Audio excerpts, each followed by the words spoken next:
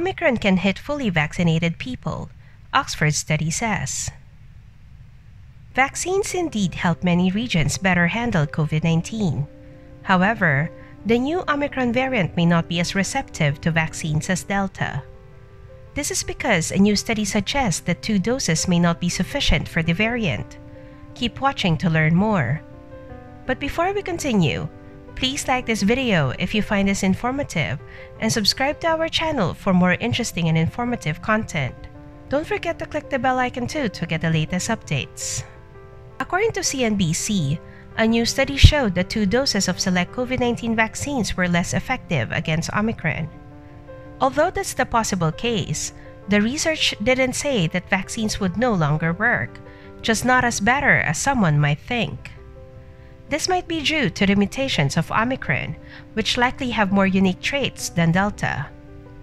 Despite the findings, University of Oxford researchers remain positive because of boosters. They hope that the third dose would be enough to keep protection high. Uploaded on medRxiv for peer review, researchers tested blood samples of people 28 days after their second dose. The vaccines mentioned in the study were from AstraZeneca and Pfizer.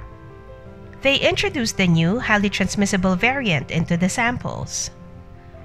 When the samples were tested, they noted a substantial fall in the levels of neutralizing antibodies, meaning the samples showed lower efficiency in fighting Omicron compared to what was observed against earlier variants. That said, many fully vaccinated individuals could catch the variant because of its mutations. Still, their chances of getting hospitalized appear low. Vaccines do work by raising the potential of the immune system against infection. Nothing provides perfect immunity, but they play a critical role in cutting the risk of severe symptoms and premature death. This will likely lead to increased breakthrough infections in previously infected or double vaccinated individuals, the author said. Right now, the findings signal for a better vaccination campaign, both the original series and the booster shot. The more people complete the original series, the more people can get the booster shot. While Omicron isn't yet associated with severe disease, it is better to get ahead before it mutates again. Do you agree with the study findings?